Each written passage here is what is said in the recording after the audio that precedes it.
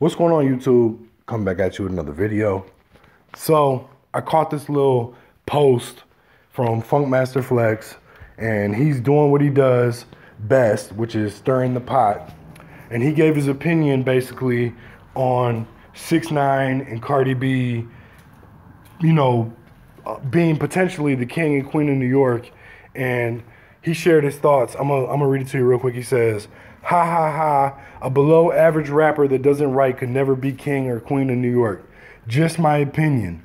Biggie, Jay Z, Nas built the requirements for that title. And then he said, just for the record, 6 9 and Cardi are not kings of New York. They are making good music and doing great things. There's a standard in NY. So he clearly doesn't feel like, regardless of the fact that 6 9 and Cardi B are at the top of the game, that um they meet the requirements set forth to be king or queen of New York. And I'm just curious, like nowadays, does it even matter anymore? Do those requirements even exist anymore in the music?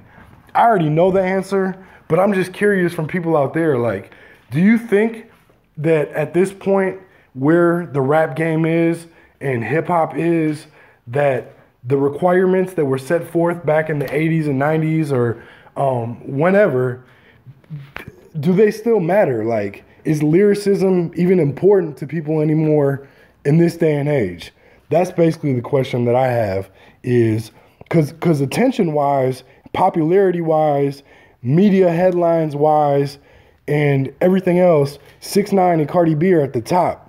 So does does the lyricism aspect matter anymore? I definitely want to get your opinions out there. Let me know in the comments what you think. If you haven't subscribed to my channel already, please go ahead and do so. I definitely appreciate you watching though. But yeah, give me some feedback. Let me know what you think. Peace.